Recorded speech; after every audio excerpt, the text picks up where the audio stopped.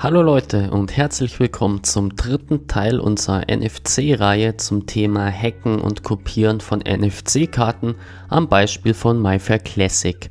Nachdem wir uns im letzten Teil über den Wörterbuchangriff hergemacht haben, werden wir uns in diesem Teil mit dem Nested-Angriff beschäftigen. Den Nested-Angriff können wir immer dann nutzen, wenn wir über den Wörterbuchangriff nicht alle Schlüssel zum Kopieren der MyFair Classic Karte ähm, erhalten konnten. Wie das Ganze funktioniert und wie das Ganze Schritt für Schritt abläuft, ähm, werden wir in diesem Video Schritt für Schritt durchgehen. Falls ihr das vorhergehende Video noch nicht gesehen habt oder auch noch mal einen Blick in die Reihe zum Thema NFC-Hacking werfen wollt, hier oben habe ich euch nochmal den Link zum letzten Video eingefügt. In diesem Sinne wünsche ich euch viel Spaß und wir starten sofort nach dem Intro mit dem Tutorial. Ich schwenke die Kamera, fange jeden Blick ein. In der Cyberwelt, da muss das Wissen richtig sein. Haufen Bits und Bytes verarbeiten wir jeden Tag. Sichere die Daten, ne Gefahr, die ist kein Spaß. Hier geht's um Technik, immer up to date. Foto, Videos, Kameras, früh spät. Filme wie ein Pro mit der Cam in der Hand. Hier bist du richtig, wo meine Leidenschaft entbrannt. Mach die Augen auf, hier wird seine Story erzählt. In der digitalen Welt, wo Sicherheit gewählt. Foto, Video, ne Seed, das ist unser Spiel, das uns zusammen entdecken, das digitale Gefühl. Ja, wir starten. Ähm, ich habe den Flipper dazu schon mal mit dem PC hier verbunden und ich möchte euch schon mal hier zeigen, was ich jetzt sehe. Es ist noch relativ unspektakulär. Ich habe jetzt mal auf der einen Seite den Q-Flipper aufgemacht ähm, und zwar aus dem Grund, dass ich hier ein bisschen eine einfache Möglichkeit habe, Dateien rauf und runter zu schieben auf den Flipper. Und ähm, auf der anderen Seite habe ich die Flipper-App, damit ihr auch seht, was ich hier auf dem Flipper sehe. Wir haben ja im letzten Video die NFC-Funktion gestartet und haben dann festgestellt, wenn ich die Karte hier lese, dass er alle Sektoren durch den Wörterbuchangriff lesen konnte. Da sehen wir auch 32 Key Founds. Ähm, wenn ich mir jetzt etwas das Ganze unbequem machen möchte, gehe ich jetzt dazu mal her, gehe in den Ordner SD. Ähm, NFC Assets und ich habe euch ja gesagt, dass dieses User Dictionary für individuelle Schlüssel verwendet wird. Ich tue mir das Ganze hier nochmal sicherheitshalber runterladen und gehe jetzt her und lösche es. Das bitte vielleicht nicht zu Hause nachmachen ohne Sicherung, weil sonst ist euer User individuelles ähm, Verzeichnis weg. Ich bestätige das Löschen und an der Stelle probiere ich jetzt nochmal die Karte zum Lesen. Wie gesagt, individuelles User-Verzeichnis ist weg. Und er sollte jetzt dadurch nicht mehr alle Schlüssel finden. Wir sehen es auch hier. Er versucht jetzt in Sektor 1, für den ihm scheinbar noch ähm, der Schlüssel fehlt, den ganzen zu anlocken. Er rattert jetzt noch durch die ähm, restlichen Wörterbücher, aber er wird den äh, letzten Schlüssel sicher nicht finden. Ähm, seit dem großen Update auf Version 1.0 der Flipper Software, auf die auch hier ähm, die Momentum Software schon aufsetzt, also Momentum Firmware, viel besser gesagt, ähm, wird damit, will nicht sagen geworben, aber ähm, hingewiesen, dass diese Basis-NFC-App, die wir hier ausführen, auch ähm, einen zusätzlichen Angriff fahren kann, wenn die ähm, Wörterbuchpasswörter nicht erfolgversprechend sind. In diesem Fall haben wir zwar jetzt hier ähm, 31 Schlüssel, aber zum vollen Kopieren der Karte fehlt uns noch der letzte Schlüssel. Deswegen immer noch 31 von 32 Schlüssel. Ähm, in der Doku ist zu entnehmen, dass die App, ich habe es jetzt an der Stelle leider nicht so hinbekommen, aber wenn noch mehr Schlüssel fehlen, sieht man, dass er dann während dem Wörterbuchangriff schreibt, er macht einen Hard-Angriff und er versucht Nonces äh, zu ermitteln. Ähm, Nonces sind im Prinzip durch den ähm, Zufallsgenerator der Karte erzeugte Einmalcodes, die aber über die äh, Rückrechnung zum eigentlichen ähm, Sektorenschlüssel äh, führen. Das heißt, ähm, über eine über eine ähm, größere Anzahl von Nonces, die immer wieder von der Karte abgefragt werden, kann man dann durch eine aufwendige mathematische Berechnung den einen ursprünglichen Schlüssel, der zum Verschlüsseln oder zum Schutz, zum Schreib- oder Leseschutz vielmehr von der von dem Sektor verwendet wird, zurückrechnen, sodass ich, wenn ich ihn berechnet habe, dann daraufhin im nächsten Lesevorgang, wenn ich ihn in mein Wörterbuch aufnehme, dann entsperren kann. Ähm, wie gesagt, ich, äh, das läuft jetzt in der neuesten Version nicht ganz so zuverlässig. Ich habe es noch nicht hingebracht, weil angeblich, wenn der dann die Nonces ermittelt hat, ich gehe jetzt da mal raus, soll man nach den ähm, Vorgaben der Entwickler über die Apps im Bereich NFC danach so dann die MFKey-App starten. Die MFKey-App schauen wir uns im nächsten Video nochmal an, aber unter einem anderen Kontext. Aber die MFKey-App soll auch hier bei reinen Nonces helfen. Sobald ich jetzt hier auf Start gehe, soll er eigentlich die Nonces, die er für diese fehlenden Schlüssel aus der Karte extrahiert hat, anfangen, ähm, den Schlüssel über den Weg zu berechnen. Das haut jetzt an der Stelle nicht hin. Falls ihr selber vielleicht das Ganze schon mal gemacht habt oder einen Tipp habt oder wisst, wo mein Fehler liegt, bitte gerne unten in die Kommentare schreiben. Ich habe schon mehrere Konstellationen ausprobiert, aber es hat nicht funktioniert.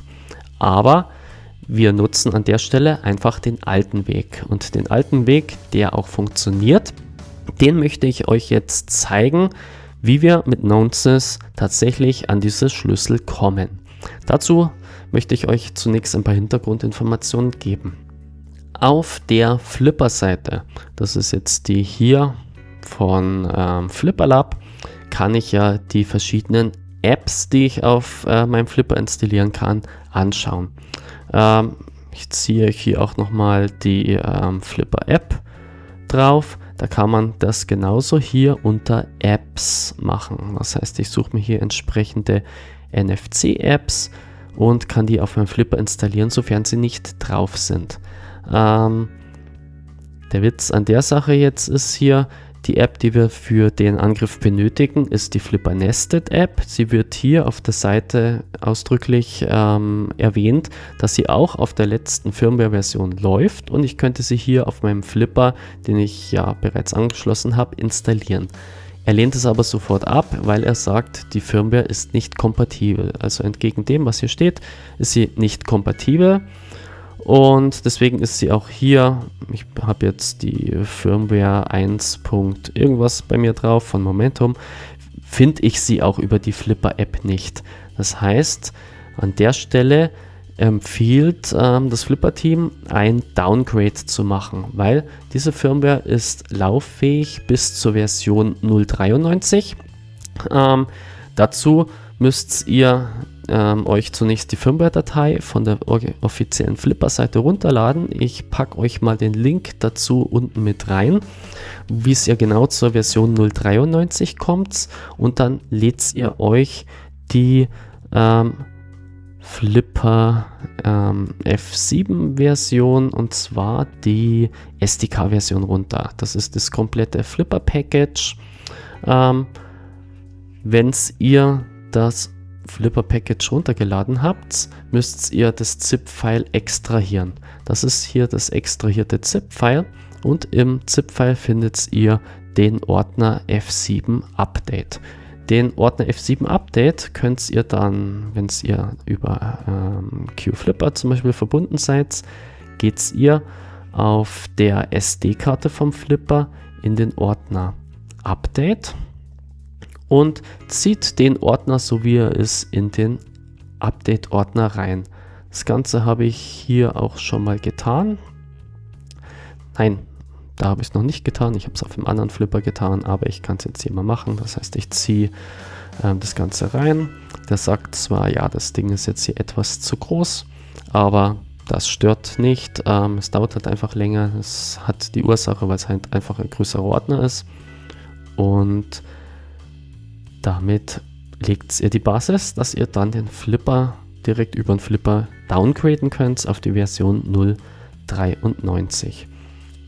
Wenn ihr dann auf dem Flipper seid, ich gehe jetzt wieder mal in die Bildschirmspiegelung rein, könnt ihr, wenn ihr im Hauptmenü vom Flipper seid, drückt ihr einmal die Taste nach unten, damit seid ihr im File-Browser und ihr navigiert dann in den Update-Ordner, dort wo wir gerade das ähm, Paket reingeladen haben. Da haben wir den F7 Update-Ordner.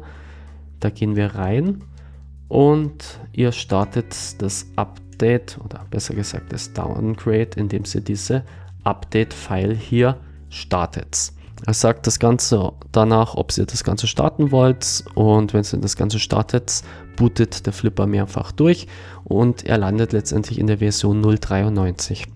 Wenn ihr in der Version 0.93 seid, geht ihr im Prinzip dann entweder über die Flipper-App rein oder eben über die Flipper Lab-Seite und installiert dann die Flipper Nested App. Ihr startet die App aus die aus die zeige es euch nochmal, wenn wir wieder zurück sind. Wenn ihr im Apps-Verzeichnis seid und geht unter NFC, habt ihr dann hier an der Stelle die Flipper Nested App. Wenn die Flipper Nested App gestartet ist, seht ihr ähm, relativ lang den, diesen Bildschirm hier, ähm, das dritte Screenshot-Teil, was ihr hier seht. Und zwar, dass er von den einzelnen Blöcken, also insgesamt allen 32 Blöcken, je Block ähm, und je Schlüssel, so sind ja 16 Blöcke mit 32 Schlüsseln, also für alle der 32 Schlüssel jeweils 256 verschiedene Nonces findet. Über diese jeweils 256 Nonces kann dann letztendlich für jeden Sektor der Schlüssel zurückgerechnet werden. Das Ganze Sammeln der Nonces kann bis zu eineinhalb Stunden dauern, je nachdem wie schnell der Flipper und wie schnell die Karte reagiert. Ich habe deshalb an dieser Stelle schon mal die Nonces mal weggespeichert, die ich da schon mal mit der App gesammelt habe. Er legt dann auf dem Flipper ein Verzeichnis an, einmal ähm, diese Nonces, nennen wir sie mal Indexdatei, wo er alle gesammelten Nonces erstmal festhält inklusive den Unterordner, wo die einzelnen Nonces dann gespeichert werden. Ähm, damit wir das Ganze jetzt mal ähm, live cracken können, müssen wir diesen Nonces-Ordner in den Ordner schmeißen, wo sie die ähm, App entsprechend ablegen würde. Und zwar gehen wir da wieder in den Q-Flipper, gehen wieder in den Ordner NFC. NFC. Und da gibt es den versteckten Ordner. Versteckte Ordner gehen mit Punkt den Ordner .nested. Und wenn man die Flipper Nested App durchlaufen äh, lassen hat, dann, ich ziehe es jetzt mal einfach hier rein, dann legt er eben diese Indexdatei plus den Ordner mit den Nonces entsprechend an. Ähm, damit wir jetzt aus den gesammelten Nonces auch die Schlüssel berechnen können, müssen wir noch ähm, eine App auf dem Rechner installieren. Diese App ist die äh, Flipper Nested Recovery App. Ihr bekommt dazu auch nochmal den Link unten in der Videobeschreibung rein, wo ihr diese App findet. Die ganze ist auf GitHub gehostet und wenn man sich dort die README-Datei anschaut, sieht man auch, dass man die relativ einfach per pip in die Python-Umgebung installieren kann. Das Ganze habe ich bei mir schon mal vorbereitet. Ich habe ähm, die Flipper Nested App über pip installiert und die Flipper App, äh, die Flipper Nested App wird über Python 3 M für Modul Flipper Nested gestartet. Wichtig ist an der Stelle, ähm, diese Python Flipper Nested App braucht exklusiven Zugriff auf den Flipper. Was bedeutet, ich muss zunächst QFlipper schließen, weil sonst kann diese App keine Verbindung zum Flipper herstellen. Ich drücke jetzt Enter und dann wird diese App automatisch den Flipper suchen, in das Nested-Verzeichnis reingehen, schauen, ob wir Nonces gesammelt haben und anfangen, diese Nonces zu cracken, die Passwörter zu ermitteln und diese dann in die ähm, Wörterbücher zurückschreiben. Dazu brauchen wir aber dann noch einen Schritt in der Nested-App, ähm, aber wir starten jetzt einfach mal mit dem Cracking-Vorgang. Ich drücke auf Enter und wir sehen jetzt hier Checking Nonces und zwar ist das genau ähm, die UID von dem Ordner, den ich drauf kopiert habe und er fängt sofort an mit den verschiedenen Keys, mit dem Brute Forcing. Er hat jetzt ähm, die Keys Typ A, sprich die lesenden Schlüssel, die kann er relativ schnell berechnen. Die A-Schlüssel gehen immer relativ schnell. Wir sehen, er geht jetzt Sektor für Sektor durch und wir sehen unten immer Found One Keys und das ist der jeweilige Key von dem Sektor. Er macht das Ganze jetzt hier durch, Sektor für Sektor. Das Ganze ähm, läuft dann bei den B-Schlüsseln genauso, bloß die Berechnung der B-Schlüssel, die für den Schreibvorgang zuständig sind, dauert hier wesentlich länger. Das Ganze hat auch hier nochmal den Nachteil, dass das Ganze über Python läuft. Python im Single-Core-Modus, das heißt, er nutzt hier maximal einen Prozessorkern. Wenn wir diesen Nested-Angriff uns in späteren Videos mal auf dem Proxmark 3 anschauen, wird das Ganze direkt in C in Multicore mit voller Rechenleistung berechnet und da sind wir nochmal um Welten schneller als wie diese Python 3 Implementierung von dem Nested Cracking Tool hier.